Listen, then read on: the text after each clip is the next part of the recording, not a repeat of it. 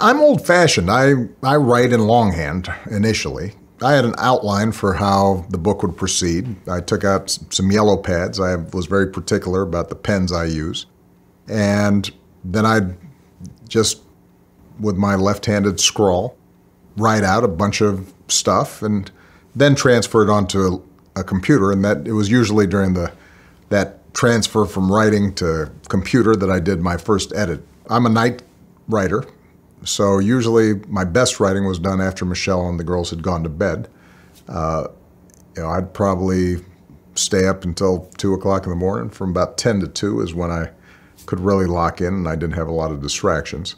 Things got a little more intense uh, in the summer when we were getting closer to deadline. Uh, so it wasn't just nighttime in which I was uh, having to go at it. Um, but at the end of the day, I, I wouldn't call myself a, a quick writer, but, uh, but I'm a pretty thorough writer.